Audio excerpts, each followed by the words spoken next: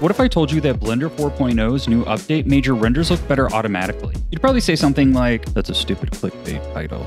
But it's true, and we're going to be looking at why in this video. We're going to be going through the new shader and how you can utilize it. It's really simple. We're also going to be looking at the new color space option that has been added, both of which will help improve your renders. And then as a bonus, if you stay till the end of the video, I'm going to show you this little mesh swapping technique that I've been using on my short film to save a ton of time. But let's dive in. Now, first up on how to automatically improve your renders, we're going to be talking about the new color spaces. Now, if you don't understand what color spaces are, I can recommend this very technical video here, which I will link to in the description. But the very simple way to think about it is that computers don't have eyes, so they just see color as a linear value. However, we as humans see color on a curve. By using these color transforms, it essentially tone maps the color and presents it to us in a final setting. Now, you may remember that we went from sRGB to Filmic a while back, and we saw a vast improvement in our Blender renders with the colors where we were able to retain a lot more lighting information and fall off and get more realistic renders. And you may recall that when that feature came out, if you were around, we had to adjust how we did our lighting. Super bright lights and things will do much better in Filmic than they do in sRGB because the tone mapping is different.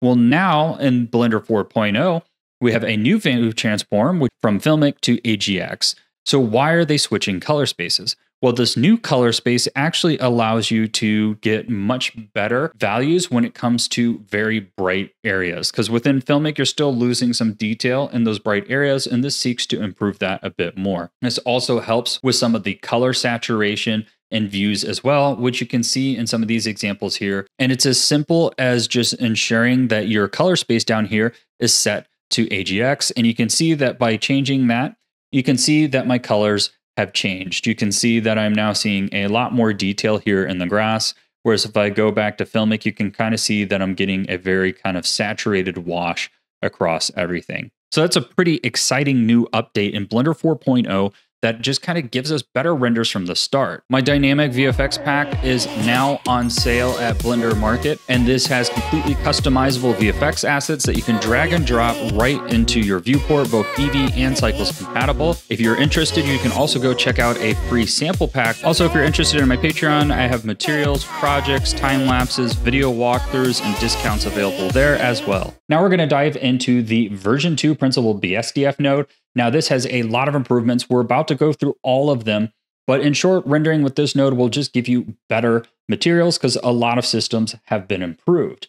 Now, one big thing that is different with this is they've improved the energy conservation. If you don't know what that means, it essentially means that it maintains the brightness of your material with the lighting. If you remember in old versions of Blender, when you would switch over to things like glass, it would suddenly get very dark and be hard to kind of get the lighting to pass through your material. Things like that have been improved. Now here I've pulled in one of my fabric materials from the Crafty Asset Pack, and that's because one of the big things they've improved is the sheen factor on fabrics. So this new sheen dropdown that we have here uses a microfiber shading model. Now this acts as a top layer above the emission and the coat layer. So what that means is it can also be used to simulate dust on materials. Here, for example, you can see that I can go ahead and turn this weight way up and I can go ahead and change this color here to whatever I want. And we can start creating either a more stylized look for our fabric, but we can also get much more realistic light wrapping around our objects thanks to this new microfiber shading model. Now let's talk about how the normal map looks better now as well. So you can see here I have it set to a strength of one. Now, previously, when you imported normal maps, a lot of times in Blender, they would actually break unless if you set it at quite a low value. And if you don't know what that looks like, I can go ahead and crank this way up and you can see that our normal map is introducing all these kind of black artifacts. Now that has been improved so that when you import your normal maps at a strength of one, they should behave much more naturally and thus give you better looking renders. Now let's talk about how metal can be improved as well with this new node. Here is an aluminum brushed node from my crafty asset pack. And we're going to be taking a look here at the specular menu. So it's worth noting that in this new version, the index of refraction is now controlling both the reflection and transmission from a single point, which is great as well, helping you not to make mistakes there. but also from Multiscatter GGX will actually give you better renders. Now, this existed before. However, in this new update, they've improved it so it doesn't have a hit on performance or your normal maps. So now you can pretty much use this as a default option and get better renders there.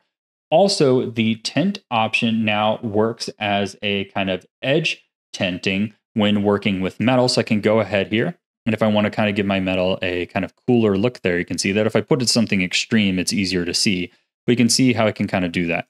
Now, this isn't realistic per se, but this does give us more artistic control over our metal as well, which is exciting. You can also see here that they've combined the anisotropic numbers under here under specular as well. The subsurface scattering has changed a bit too. So now instead of having its own color input, it will pull that from the base color value up here. So these will now be the same.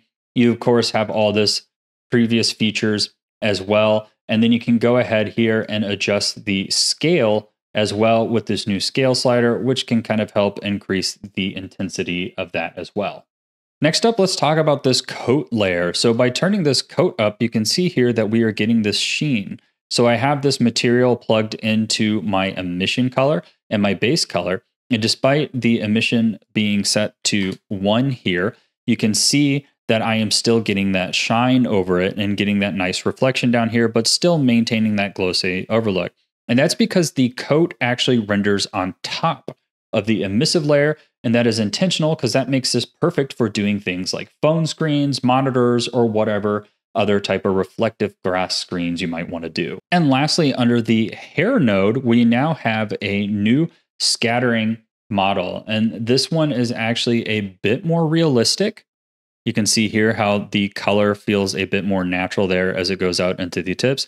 However, it is also going to take a bit longer to render. So that one requires a bit of a trade off, but it is nice to have that option. Now, lastly, I promised to show you this kind of cool mesh swapping technique. And this actually came in super handy when I was working on my short film and I was doing the credit sequence here and I kept making updates to the credits and needing to swap them. However, rather than just using a text object, I was using a lot of effects, having to convert them to mesh and change a bunch of things. So it was getting difficult to keep making the edits.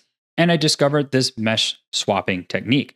So if you see here, I have two variations of the credits here. And when you grab your objects here, if you're making alterations and things like that, and this comes in really handy when you're trying to swap the mesh on a character rig, for example, you can go ahead and come down here to the data tab.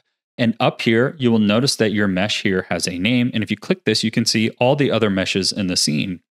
So let's say here that I originally wanted my credit to be created by Southern Shotty and I decided I wanted to add created and animated by Southern Shotty, then what I could do is go ahead, grab my mesh here, change this from created to created and animated there, and you'll see that it will update the mesh to this new mesh and maintain its position. So you can see how that'd be incredibly helpful when it's already placed in a scene, animated, or other things like that. So I hope this helps you save a ton of time. It's definitely helped me save a lot.